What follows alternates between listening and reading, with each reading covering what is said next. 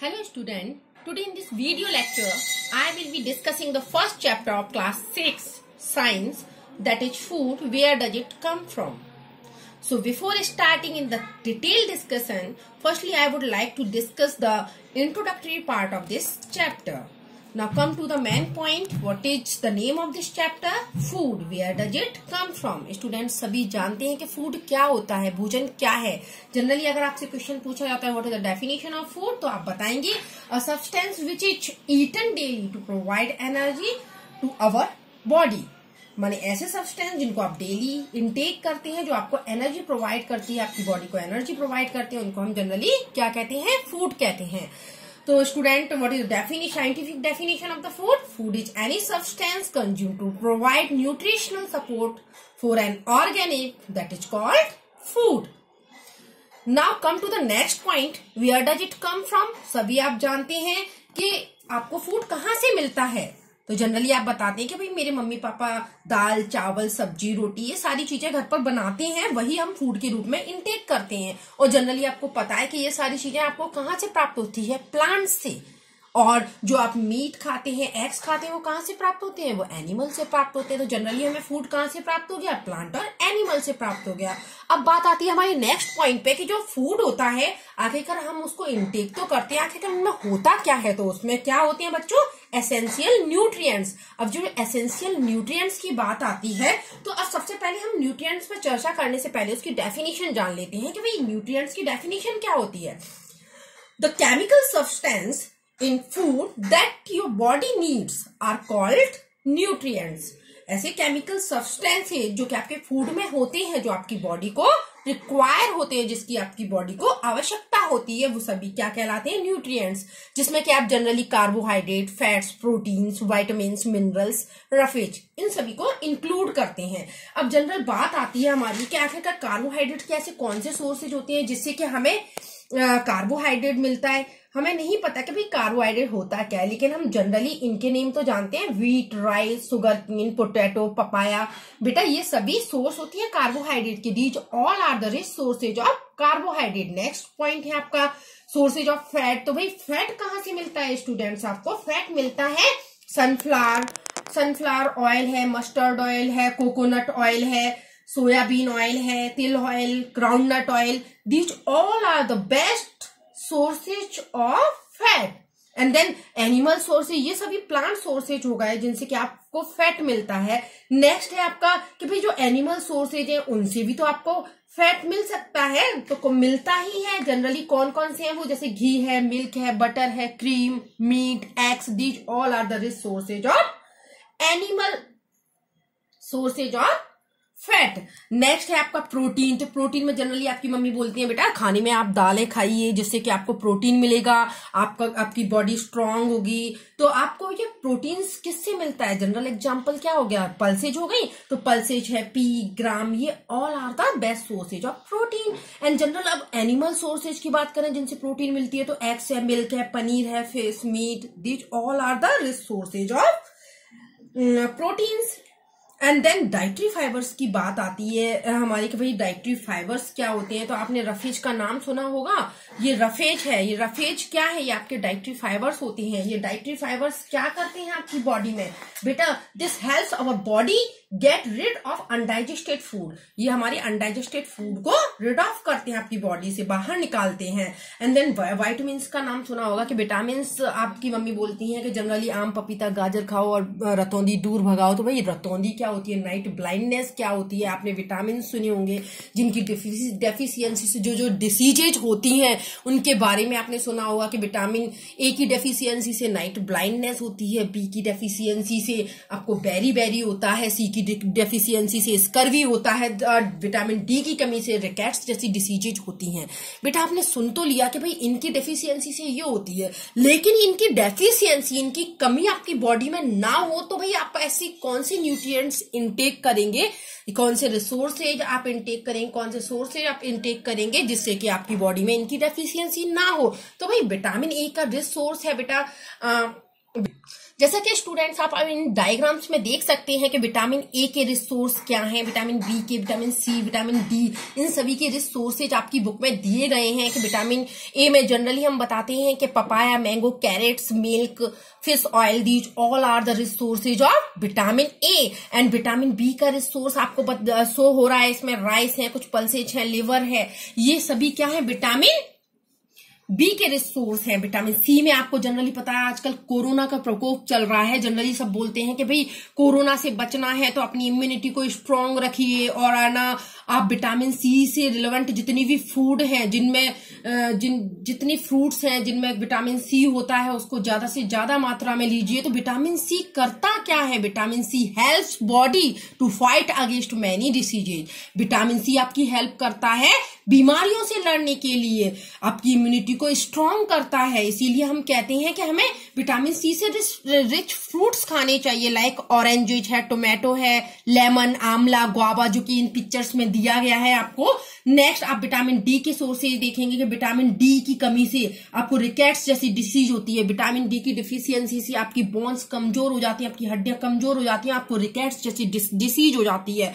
इससे आपको बचने के लिए आपको कुछ रिसोर्सेज अपने फ़ूड मटेरियल में इंटेक करने होंगे, जो कि हैं आपके लाइक फ़िश एग इन पिक्चर्स में दिए गए हैं मिल्क है। These are the best sources of vitamin D now come to the next point students okay students यहाँ आप देख सकते हैं कि मिनरल्स आपने सुना होगा मिनरल्स भाई मिनरल्स होते क्या हैं? कौन कौन से मिनरल्स जनरली आप फ़ूड मटेरियल के फॉर्म में इनटेक करते हैं। लाइक like आयोडीन है फॉस्फोरस है, आपका आयरन है कैल्शियम है these all are the minerals which is very essential for your body वो आपकी बॉडी के लिए बहुत ज़्यादा आवश्यक है। अब आवश्यक है तो इसके सोर्सेज क्या है? तो आप इन फिगर्स में, इन पिक्चर्स में देख सकती हैं कि भाई कौन कौन से आपके सोर्सेज हैं जिसमें कि आपके मिनरल्स रिच होते हैं।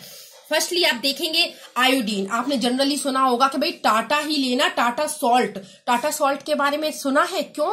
क्योंकि उसमें क्या होता है? उसमें आयोडीन होता है। आयोडीन की डेफिशिएंसी से आपने एक पॉपुलर डिसीज सुनी होगी गोइटर जिसमें कि घेंगा रोग बोलते हैं, जिसमें कि आपकी जो, आपकी नेक की जो ग्लैंड होती है, वो स्वेलन हो जाती हैं उनमें सूजन आ जाती है तो वो डिसीज होती है गोइटर जो किसकी डिफिशियंसी से होती है? आयोडीन की। तो आयोडीन की डेफिशियंसी ना हो तो आपको इनटेक करना है। स्पाइनच है जिंजर है फ़िश है, ये सभी रिसोर्स है आयोडीन के। एंड देन आपने फॉस्फोरस का, कैल्शियम का सुना होगा कि आपके टीथ के लिए, आपकी हड्डियों के लिए, आपकी बॉन्स के लिए सबसे ज़्यादा इसेंशियल होता है फॉस्फोरस एंड कैल्शियम। तो फॉस्फोरस और कैल्शियम के रिसोर्सेज आपको इन फिगर्स में दिए गए हैं।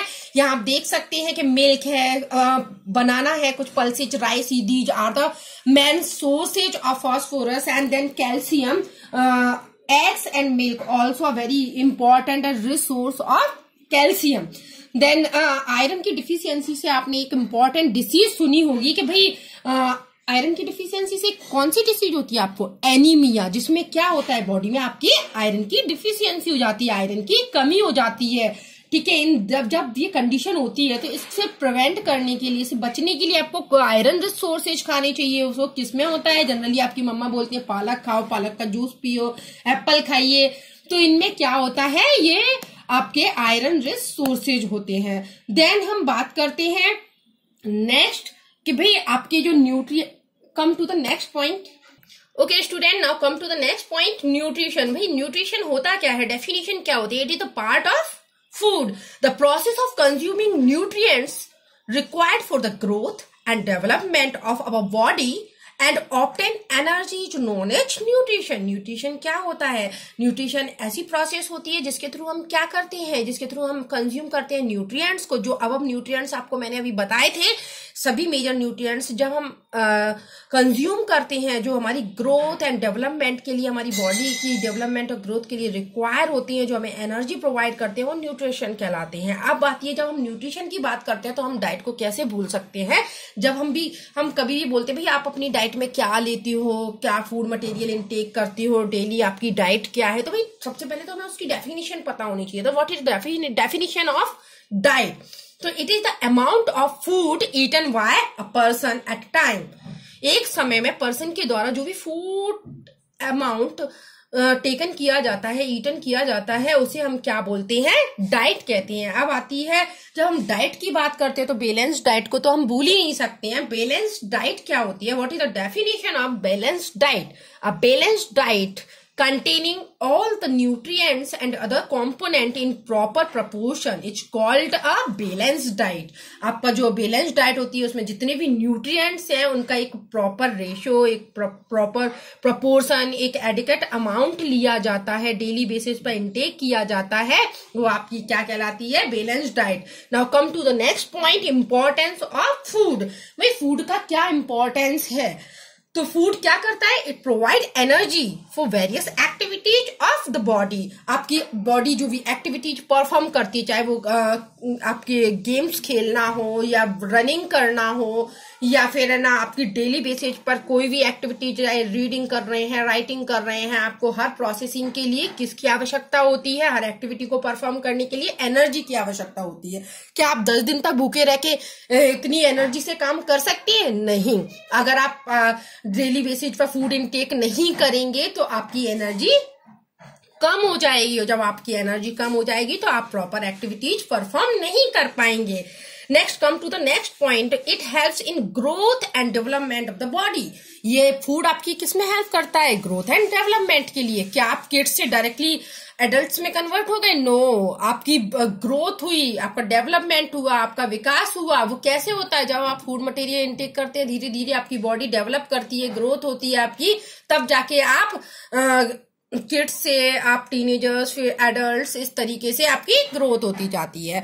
Then next come to the next point it protect the body from various diseases and keep it fit and healthy food क्या करता है? आपकी बॉडी को काफ़ी सारी डिसीजेस से वेरियस डिसीजेस से प्रोटेक्ट करता है और आपकी बॉडी को फिट रखता है हेल्दी रखता है। आपको पता है, जब आप प्रॉपर डाइट इंटेक करेंगे, आपकी बॉडी के अंदर किसी भी न्यूट्रिएंट्स की कमी नहीं होगी तो आपकी बॉडी कैसी रहेगी?